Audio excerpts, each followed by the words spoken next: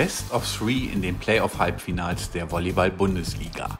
Am Samstag tritt der SC Potsdam in der ersten Partie auswärts beim Dresdner SC an.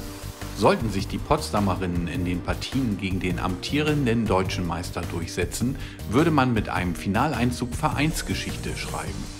Laura Emons, die Kapitänin vom SC Potsdam, weiß, wir wollen auf jeden Fall Geschichte schreiben, ähm, jedes Jahr ein bisschen besser werden, deshalb wäre so ein Finaleinzug natürlich super gut für uns.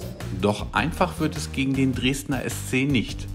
Ja, es sind immer spannende Spiele. Dresden ist jetzt gerade gut drauf. Die haben zweimal 3-0 gewonnen gegen äh, Wiesbaden. Deshalb denke ich, dass es auch schwer wird, wie die anderen Spiele auch. Allerdings ist auch der SC Potsdam gut drauf. Wenn man jetzt so den Verlauf unserer Saison anschaut, dann geht es immer nur nach oben und ich hoffe, ja, es geht auch weiter hoch hinaus. Los geht's am Samstag in der Margon Arena in Dresden. Am Dienstag folgt dann das Heimspiel in der MBS Arena. Es bleibt abzuwarten, wer in die Finals um die Meisterschaft einzieht.